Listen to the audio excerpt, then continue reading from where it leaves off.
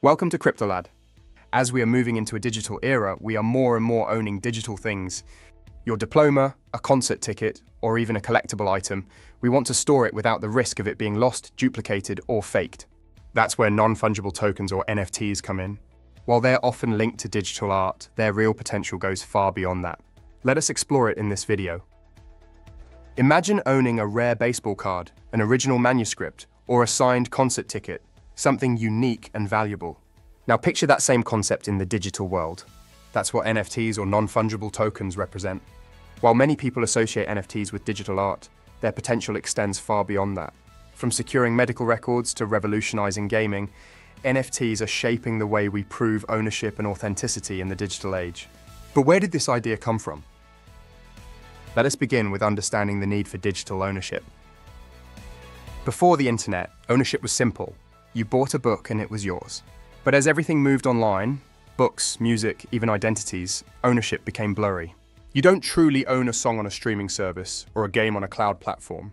You access them, but they can be removed or altered at any time. This problem led to the rise of NFTs, digital assets that are truly yours.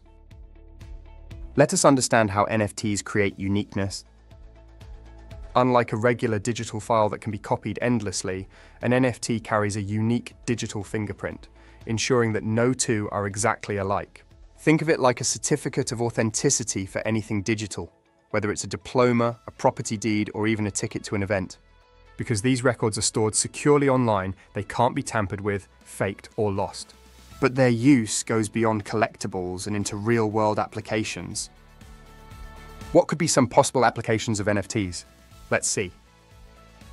NFTs find use in multiple industries. Education and certifications, digital diplomas or course certificates can be verified instantly, making fake degrees a thing of the past. Healthcare records. Patients can have full control over their medical history, securely storing and sharing records with doctors as needed. Event tickets and memberships. No more scalping or fake tickets. NFT-based access passes are unique and verifiable. Gaming and virtual worlds. Players can truly own in-game items, from rare weapons to exclusive avatars, and carry them between games, and even in real estate and property titles. With NFTs, buying and selling property could become more transparent, with ownership recorded digitally. These examples show that NFTs aren't just about images, they're about security, verification, and control over digital assets.